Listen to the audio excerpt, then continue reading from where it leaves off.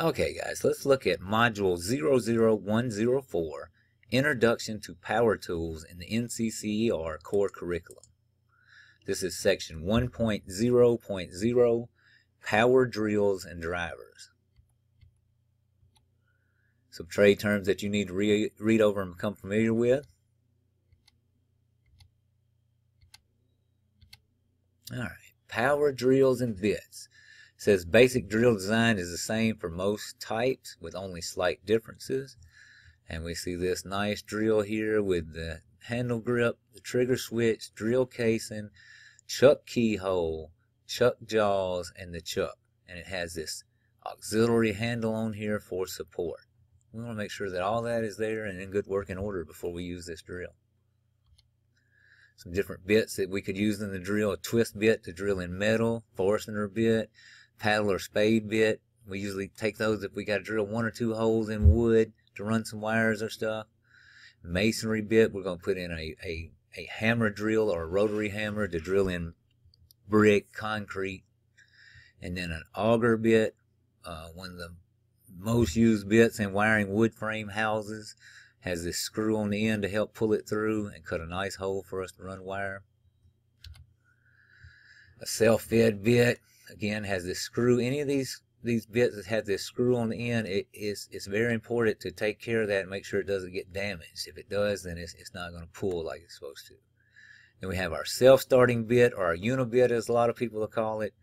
Uh, with this one we can we can bore down with it and drill out different size holes. We use it a lot to get a hole started for a, a knockout punch or or use just the unibit for a half inch hole only thing I would say with these, I know this says self-starting step bit, but if you would take a small pilot bit and draw drill a pilot hole before you started using the step bit, it would it would last a whole lot longer.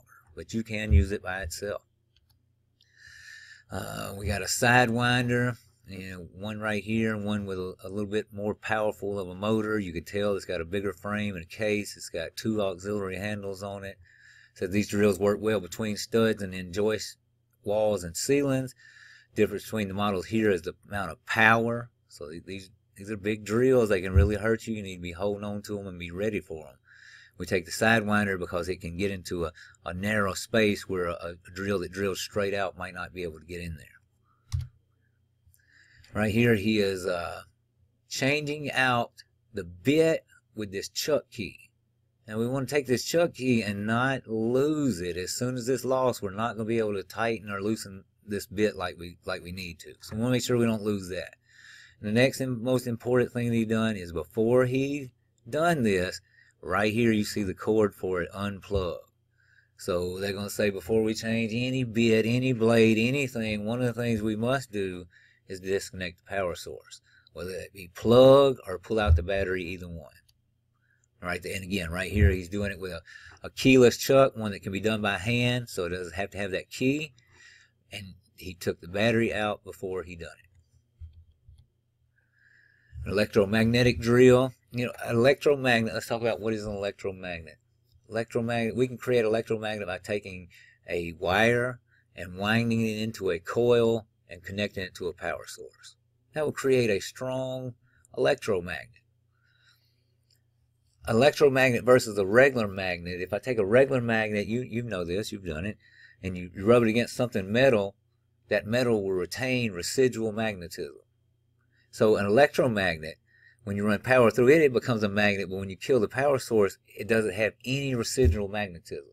Now that's an important point to understand for motor control, all kind of things, transformers and things that we go through with. Electromagnet, take a wire, wrap it into a coil, connected to a power source.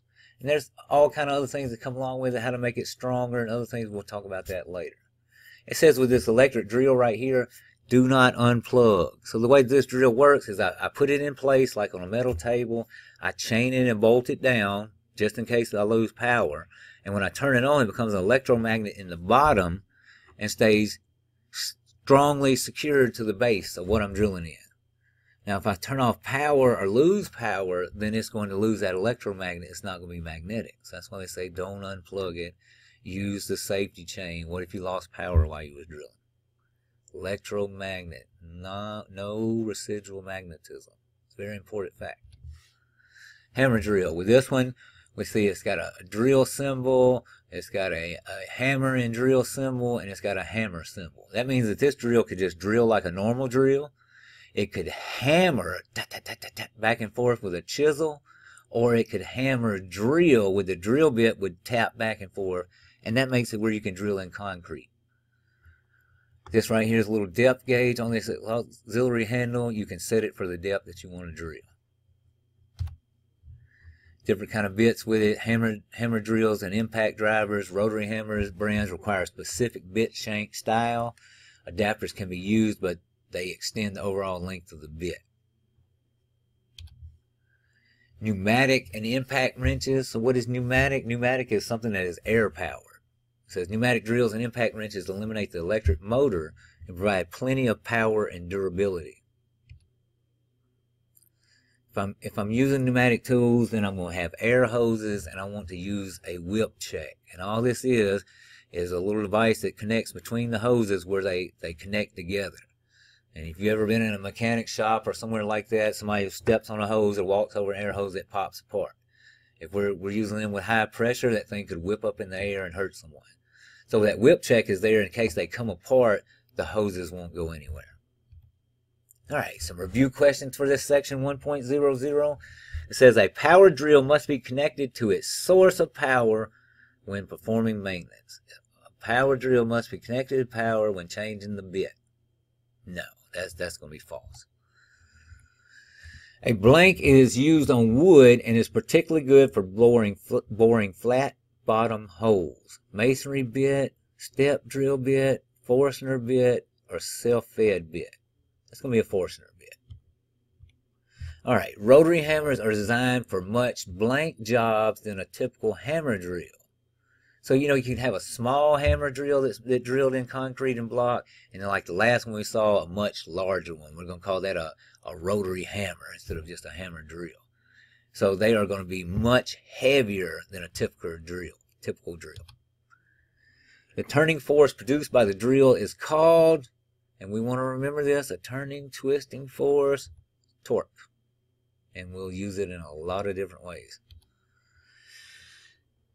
Blank tend to have more power for their weight than comparable electric tools. Mechanical, hand tools, electromagnetic, or pneumatic. That's going to be pneumatic. All right, that's it for that section. Next section will be 2.0.0 power saws, and I will see you over there.